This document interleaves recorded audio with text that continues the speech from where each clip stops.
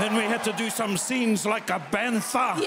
Oh my gosh. Temuera Morrison improvised like a bantha. Like a bantha was not in the script. In the script was probably all like, hey, yeah, just go on the speeder bikes, pretend to show the Tuskens how to ride a speeder bike. You know what I'm saying? And he said the like a bantha thing, he made it up. I think I made all that up on the day too, all that like a bantha. That wasn't even in the script. I just thought, hey, you fellas ride the motorbike, okay, like a bantha. and, and I was only joking. What? Ah, Temuera, man, you're never going to stop being the most charismatic, hilarious, entertaining man on earth. Day after day, I'm more confused.